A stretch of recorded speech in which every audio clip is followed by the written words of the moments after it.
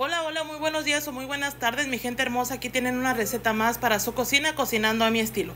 Hoy vamos a preparar un riquísimo pozole. Como pueden ver, aquí tengo la carne de puerco.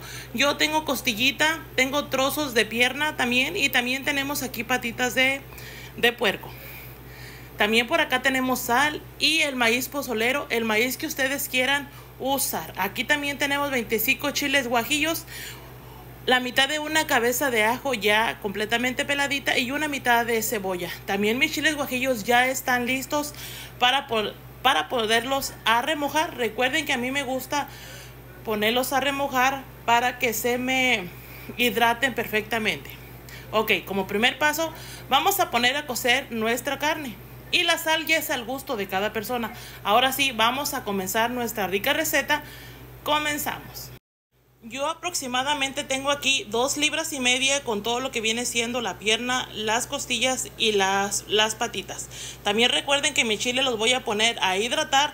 Así con la semilla yo nada más les quité el cabito, pero ya están completamente lavaditos. Ahora sí vamos a poner a cocer nuestra carne. Aquí tengo mi vaporera con agua ya caliente. Vamos a agregarle lo que viene siendo las patitas primero. Les ponemos las patitas por aquí de puerco. Y pasando unos 10 minutitos le vamos a poner lo que viene siendo los trocitos de pierna y de costilla también. Aquí también le vamos a agregar lo que viene siendo la mitad de una cebolla grande y le vamos a echar cuatro ajos grandes aquí. Después le vamos a poner sal. Vamos a ponerle la sal y recuerden que aquí la sal es al gusto de cada persona. Vamos a ponerle la sal para cocer nuestra carne y simplemente la vas a dejar ahí. Aproximadamente tu carne se va a cocer entre una hora a una hora y media o puede ser un poquito menos. Yo te voy a decir, mi fuego está en mediano. Vamos a dejarla que se cosa ahí y si tú la quieres tapar lo puedes hacer. Ya que le echamos la sal vamos a revolver aquí un poco para que se incorpore bien la sal aquí en la carne y ahora sí vamos a dejarla aquí que se nos cosa nuestra carne. Después arriba va a soltar una espumita. Es toda esa sangre cocida que nosotros se la tenemos que retirar, pero ahorita yo les digo. Yo mi carne siempre que la pongo así a cocer no la tapo porque después hierve y se hace un tiradero por aquí, pero ahorita le seguimos. Ahora sí como pueden ver aquí tengo mis chiles en un sartén con agua caliente. Los voy a poner a hidratar vamos a ponerlos aquí. Recuerden que yo, nada más los voy a poner a hidratar, no los voy a cocer. Si tú lo quieres un, poquito más picosito, le vamos a agregar 6 chiles de árbol. Y si no lo quieres picosito, el chile de árbol lo puedes omitir. También aquí le vamos a poner lo que vienen siendo 5 ajos. Y también ya cuando esté hidratado bien nuestro chile vamos a utilizar también orégano. Aquí ya es al gusto de cada persona si le quieres echar orégano. Muchas personitas no le echan orégano, yo sí. Pero ahorita les voy a decir qué tanto le vamos a echar a nuestro pozole.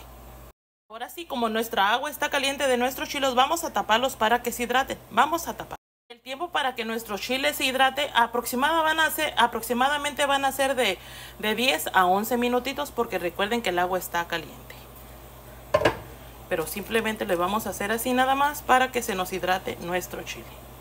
Como pueden ver cuando nuestra carne tiene aproximadamente unos 40 minutos ya hirviendo le vamos a retirar todo lo que viene siendo esta espuma porque esta espuma simplemente es sangre cocida y no la queremos aquí.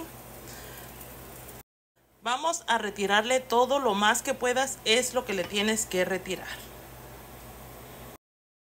Ahora sí, como pueden ver, aquí está mi chile ya perfectamente hidratado y lo vamos a pasar al vaso de la licuadora. Lo vamos a pasar aquí. Y ya tenemos nuestros chiles, también le vamos a poner los ajitos, los que echamos aquí en el chile que pusimos a hidratar. Y de esta misma agua con la que yo puse a hidratar mis chiles se la vamos a poner aquí. Recuerden que cuando yo puse a hidratar mis chiles, mis chiles estaban completamente lavaditos.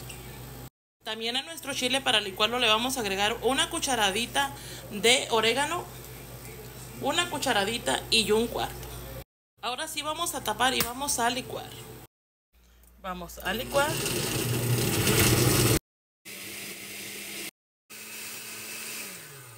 Ahora sí nuestro chile ya está licuado. Vamos a vamos a reservar.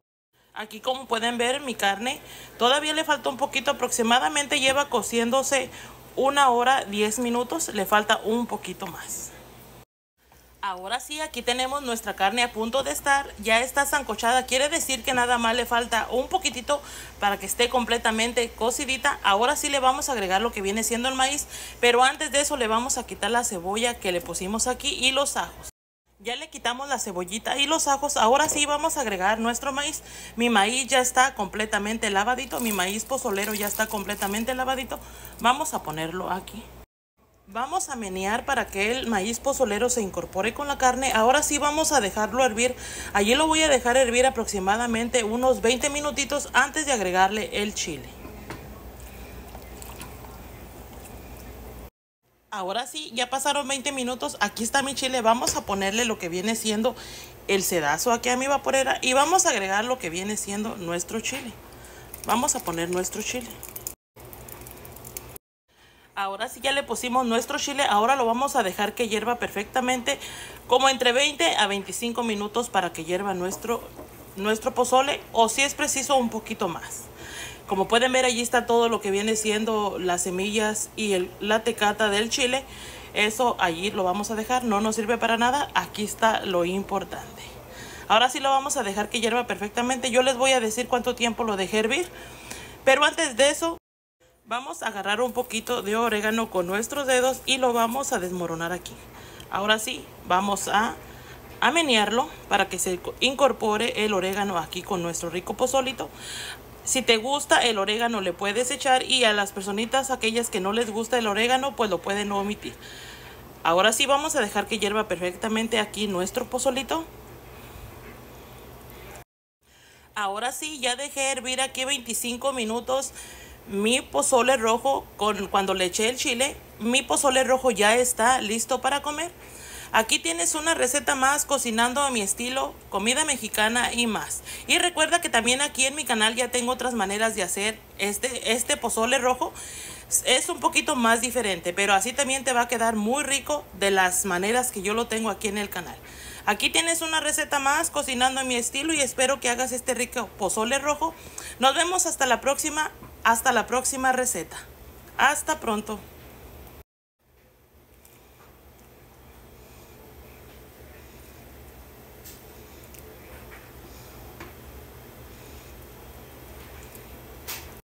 Y muchas gracias a cada uno de ustedes por todo el apoyo que me dan día a día. Espero que me dejen un mensaje o me dejen un me gusta. Gracias. Hasta la próxima.